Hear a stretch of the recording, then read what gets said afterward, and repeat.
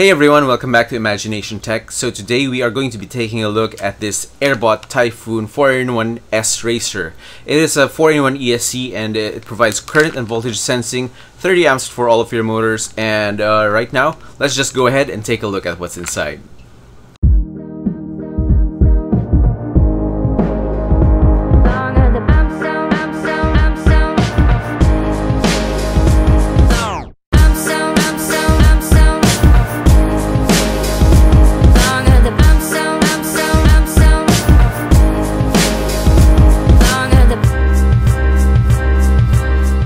So this is the Airbot Typhoon 4-in-1 ESC and uh, this is made by Airbot. Um, there are a couple of places where you can get this. Uh, I actually got this from the October drone drop I think. I think it was October drone drop and uh, you can get this also from um, from places like Amazon. I think Piroflip RC still has them and Banggood also sells them although it does say origi original on Banggood. I'm not quite sure if it is really original I've had bad uh, experience with uh, getting their original Omnibot, uh, Omnibus F4 um, flight controllers. They those those ones burn out pretty quickly, so uh, your mileage might may vary. But um, anyway, I'm going to put some links in the description below to those. So here, um, let's just uh, open this package right now. Okay, so it, it, it comes in an easy open package, easy tear package. So it does come with a manual and and another package for the actual uh, 4-in-1 ESC and a couple of connectors. So yeah so when, when you look at the listing on Banggood it, it says it doesn't come with any cables or connectors. So yeah the legitness of that page is already put into question. So let's just put that away for a second and then open this uh, open up this other package. So it's a nice blue color. You can as you can see here are the pads for uh, for ground and negative ground and positive. So this apparently can take 4 uh, 4s up to 6s here are the pins for uh, your motor 1 motor 2 motor 3 and motor 4 now for the connectors going from left to right uh, from yellow to left all the way to uh, the white wire onto all the way to the right.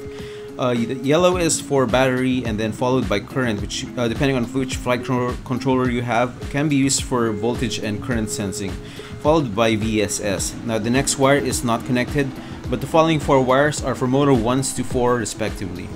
Now this also runs BL Heli S so that means that you can use turtle mode with this uh, with this flight with this ESC and uh, so you, or you know if you flip your quad you don't you no longer need to pick it up in uh, in some cases you can just flip uh, flip a switch on your Taranis and use turtle mode and then flip try to flip your quad uh, up right side up so let's go ahead and put this in Sierra now one thing you need to know about the about the Typhoon is that uh, the, the motor order is a little bit different from Betaflight so in Betaflight this is your motor 1, this is motor 2, motor 3, and motor 4.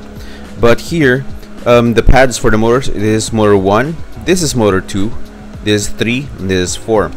So one um, one simple solution if you need if, if you're for example if you're going to be mounting your uh, ESC this way um, well you can just you can simply flip rather uh, no um, so here's if you flip it on the other side, your motor 1 is going to be this one.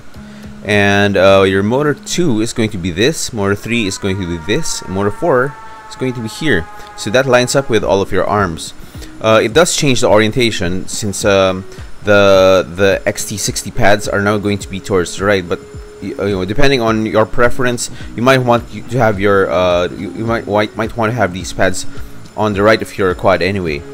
And uh, the the pads are also going to be pointing back and pointing forwards but you know that's okay because you're just going to be routing your wires um, over here anyway. So that's not going to make, a, make make much of a difference in uh, my opinion. So yeah so this is a, this is it this is the the ESC when it's right side up and you just flip it like that and you have all of all of your motor pads aligned with your arms. Now another way if you if you really want to like you, you need to mount it like this or if you want it mounted like this. Now we the last four uh, the last four wires here are for more for the motor wires more signal wires. So more one two three and four in sequence from left to right. So let me just uh, take all of those wires So these last four wires are your are, are your motor signal wires, and uh, fr from yellow this is motor signal wire one, two, three, and four. So uh, we know that motor that the yellow wire corresponds to this uh, this corner, and the blue wire corresponds to this corner. So you simply connect the blue wire to motor 3 because that's uh, where your motor 3 is. So you just connect this to the motor 3 pad on your flight controller, and the next one, the green one, you connect it to motor 2 on your flight controller. So this one, while it corresponds to this pad, you have your motor 2 attached to this. So they're just simply wires. You just mix them up and uh, you, you connect them to where you need them you need to connect them to. So if you connect uh, again, this for motor wire 1 on your you, you solder this yellow wire to your motor wire 1 on your F on your flight controller. And the blue wire you uh, you soldered it onto motor wire 3 on your flight controller. The green wire is connected to 2 and the white wire is connected to signal pad number 4. So basically what we did is we just flipped 2 and 3 by flipping the wires. Right, so uh, let me just uh, do that quickly. Right, so what we need to do right now is to pre-tin all of these pads so that we can solder on our flight controller.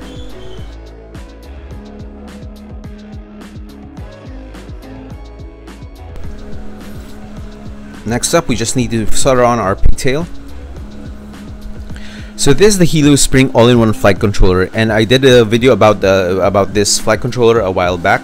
So I'm gonna post a link in the in here in a, in a card and uh, I do hope you check that out because this is a really nice flight controller.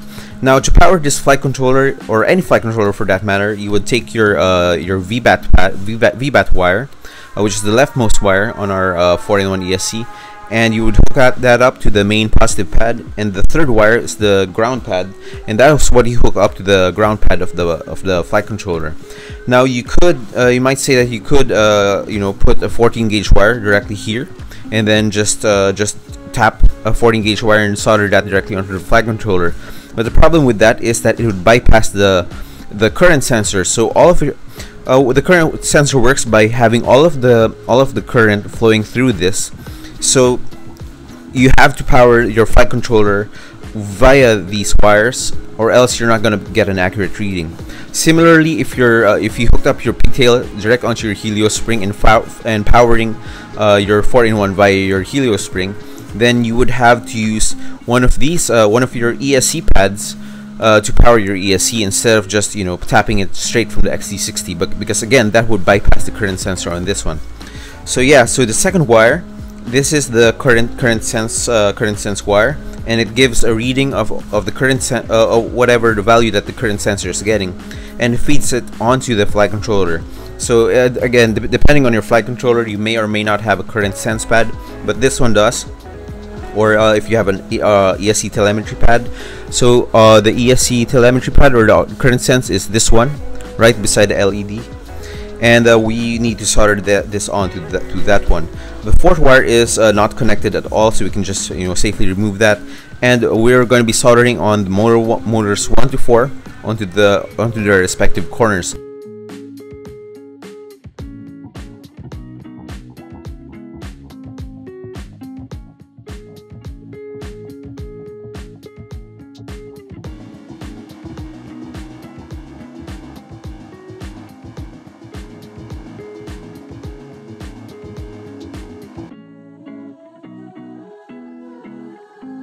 So that's it for the Typhoon 4-in-1 ESC and uh, we have uh, now just uh, put our, our 4-in-1 ESC as well as our FC and we now have a really nice stack.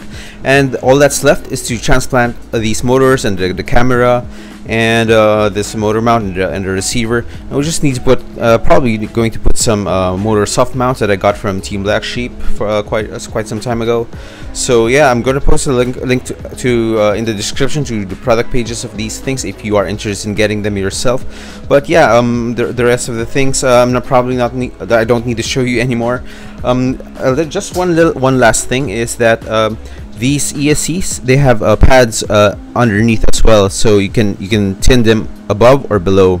Now um, I think it's it's really preferential it depends on on how you want to um, set up your quad but uh, you know um, I'm fine with having it up here. It's easier for me to solder and to maintain but if you will want it to be a little bit more sleeker and you can also do that um, tin the underside and then just solder your motor wires onto that directly so that has been it for the Typhoon 4-in-1 S Racer ESC 4-in-1 ESC and uh, I do hope that you enjoyed this video and uh, might have found this useful.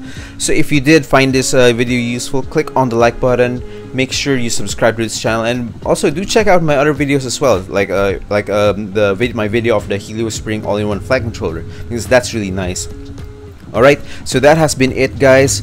I hope you you have a good day and uh, it's almost Christmas, so Merry Christmas as well to all of you guys. Uh, when uh, I, hope I hope to to get this video out before Christmas. All right. So anyway, keep building, keep flying, and Merry Christmas to you all.